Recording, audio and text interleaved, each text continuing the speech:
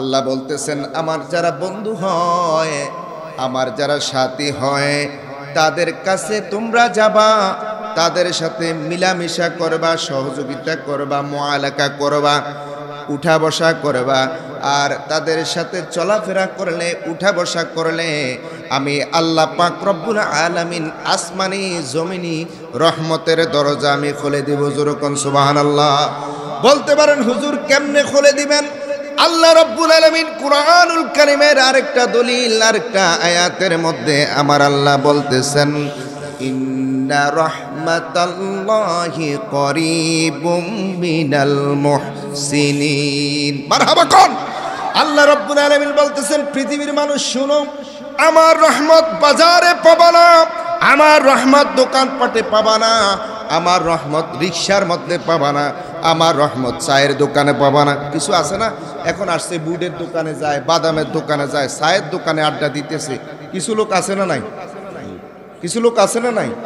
এই কারণে আমার আল্লাহ রাব্বুল আলামিন বলতেছেন, ইন্না রাহমাতাল্লাহি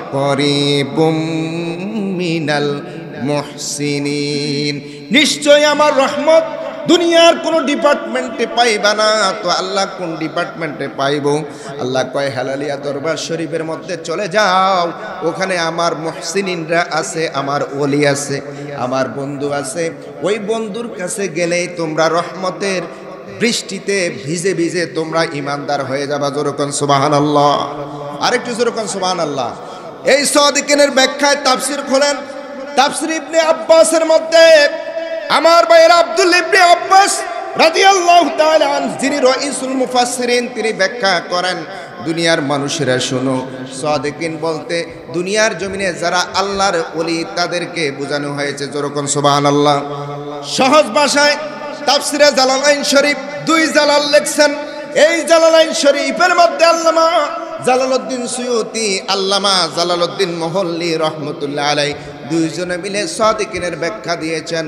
দুনিয়ায় যারা অন্য মানুষ থেকে আলাদা, যাদের জিব্বাটা নড়ে আল্লাহর জন্য, যাদের কর্মটা চলে আল্লাহর জন্য, যাদের বেশভূষণ দেখলে, চলাফেরা দেখলে আমার আল্লাহর কথা মনে হয়।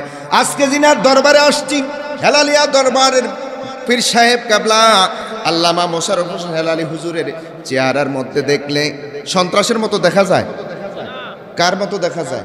ওনার চেহারার মধ্যে তাকাইলে যেন নূর বাসতেছে এ কারণে ওনাকে দেখলেই আল্লাহর কথা স্মরণ হয়ে যায়।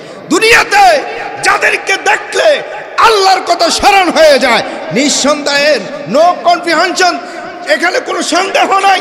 বোঝ বুঝতে হবে, আপনি মনে করতে হবে, আপনি, উনি আল্লাহ ওয়ালা জোরে কন সোবাহান আল্লাহ আরেকটু জোরে কন সোবাহান আল্লাহ বাইরে আমার গভীর মনোযোগ তাফসিরাত দুরুল মনসুর লিখেছেন আল্লামা জালালউদ্দিন সুয়ুতি, সেটার মধ্যে আমার ভাইয়েরা সদিকিনের ব্যাখ্যায় তিনি লিখেছেন, ওনারা হচ্ছেন আল্লাহর অলি সুবান আল্লাহ কোন? আরেকটা দলিল দিচ্ছি আপনাদের মাঝে। আমার ভাইয়েরা, বন্ধুরা, তাফসিরের উহুল মানি লিখেছেন আল্লামা শিহাবউদ্দিন আলুসি রহমতুল্লাহ আলাই শিহাবউদ্দিন আলুসি রহমতুল্লাহ আলাই ওয়াকুনু মা সদিকিনের ব্যাখ্যায় লিখেছেন ওয়াকুনু মা সদিকিন বা মানা আউলিয়া, জোরে জোরে কন্যা সুবাহান আল্লাহ তাফসিরে কাবির লিখেছেন আল্লামা ফখরুদ্দিন রাজি রহমতুল্লাহ আল্লামা ফখরুদ্দিন রাজি রহমতুল্লাহ আলাই তাফসিরে কাবিরের মধ্যে কোন সাদিকিনের ব্যাখ্যায় বুঝিয়েছেন, যাদেরকে দেখলে আল্লাহর কথা স্মরণ হয়ে যায়। সুবাহ আল্লাহ কন। আরেকটু জোরে কন্যা সুবাহ আল্লাহ কিও, আমরা তো গেয়ার এত কমে গেছে গা, বুঝলাম না। ঠান্ডা লাগতেছে, ঠান্ডা তো কম। এখন তো স্পেশাল সময়। নাতি শীতাষ্ণ না ঠান্ডা, না গরম। মার হাবা কন? আমার ভাইয়েরা, বন্ধুরা, আমার ওলি আল্লাহর কাছে যাওয়ার কথা। প্রত্যেক দিন পাঁচ ওয়াক্ত নামাজে আমরা নিজেরাই বলি। পাঁচ ওয়াক্ত নামাজের মধ্যে নিজেরাই বলি। মসজিদের মধ্যে ওলি আল্লাহর কথা বলে রুমের ভিতরে আইসা ওলি আল্লাহর বিরুদ্ধে কথা কয়। এরকম মানুষ আছে না নাই? বলবেন, হুজুর, কোথায় বলি? নামাজের মধ্যে আল্লাহ আকবার বলার পরে এবার বলতেছে, আলহামদুলিল্লাহ রব্বিল আলামিন।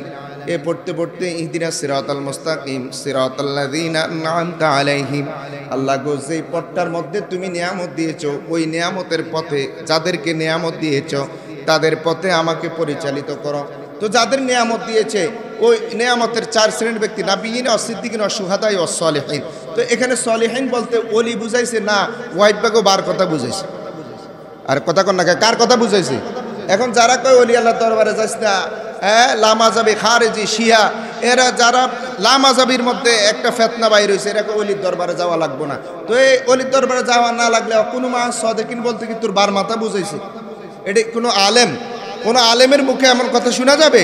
তার মানে বোঝা গেল এরা কোনো আলেম না, এরা হলো জাহেল এবং ইমানসুর, কথা কোন ঠিক কিনা? আজকে এই হেলালিয়া দরবার থেকে একটা মেসেজ তাদেরকে দিয়ে দিতে চাই। যদি তোমাদেরকে এই মেসেজটা দিয়ে দেয় অলি আল্লাহর কাছে গেলে শিরিক, বেদাত, তোমরা যদি স্পষ্ট প্রমাণ করতে পারো, তাহলে আমরা তোমাদেরকে দশ লক্ষ টাকা দিয়ে হাইকোর্টে যেই জায়গায় বসলে আমাদের বিচারটা শক্ত হবে, আমরা সেই জায়গায় বসতে চাই। কথা বলুন ঠিক কিনা?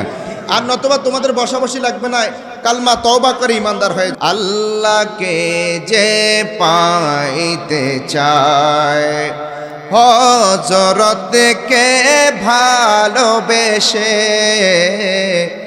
আরও কুরসি লৌহ কলম না চাইতে পেয়েছে সে। রসুল নামের রশি ধরে যেতে হবে, খুদার ঘরে রসুল নামের রশি ধরে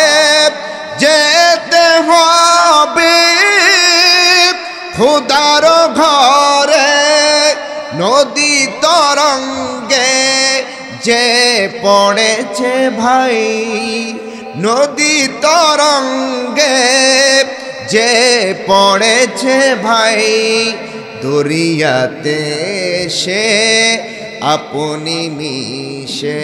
বলুন, হজরত থেকে